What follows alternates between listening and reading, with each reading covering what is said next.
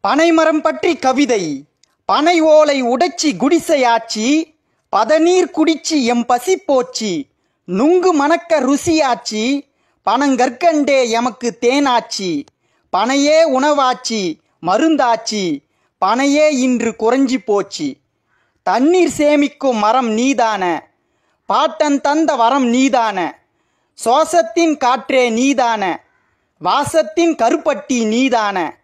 பனையே நன்மைதான. பனையின் குரல் உனக்கு கீன் குரல் உனக்கு கேட்கவில்லையா மனிதா? என்னை நீ தூக்கி வீசினால் பணங்கிழங்காவேன் என்னை வளர்த்தால் தலைமுறையை காப்பேன். கிராமத்தின் வரவேற்பு மரங்கள் நாங்கள். எங்களை வழி அனுப்பி விடாதீர்கள். தூக்கணாங்குருவிக்கு வாய்வு கொடுத்தோம். நீங்கள் தூங்க நாங்கள் காற்று கொடுத்தோம். பனையின் குரல் உனக்கு கேட்கவில்லையா மனிதா? நுங்கு வண்டி செஞ்சு ஊரெல்லாம் சுத்துனோம். கார்த்திகையில் தீப்பொறி சுத்துனோம். தபசு ஏறிய மரம் நான் தானே பனையின் குரல் உனக்கு கேட்கவில்லையா மனிதா? ஓலைச்சுவடிகள் தமிழ் என்றது. அந்த ஓலைச்சுவடிகள் பனை தந்தது. வளர்ப்போம் பனை இது என் ஆணை.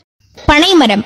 பனைமரம் தமிழ் சமூகத்தின் உயிர் சாட்சி. உலகிலுள்ள மொழிகளுக்கெல்லாம் மூத்த மொழி தமிழ் மொழி. தமிழ் தமிழ்மொழியின் எழுத்துகள் முதன் முதலில் பதியப்பட்டது பனையோலையில்தான்.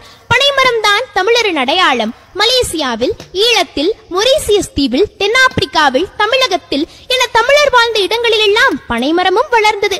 அதனால் தான் நமது முன்னோர்கள் பனைமரத்தை கற்பக விருட்சம் என்று பெயரிட்டு அழைத்தார்கள். உணவு நிலையில் மட்டுமின்றி உணர்வு நிலையிலும் கூட நம் முன்னோர் பனைமரத்துடன் இணைந்துள்ளனர். பனைமரம் உணவு மற்றும் உணவளிப் பொருள்களை நல்குகிறது உணவுப் பொருள்களில் பதநீர் முதன்மையானது. இதுவே கருப்பட்டி வெள்ளம் பனஞ்சீனி பனங்கற்கண்டு பனம் மிட்டாய் பனங்கூழ் என பல்வேறு உணவுப் பொருள்களாக வடிவம் பெறுகிறது.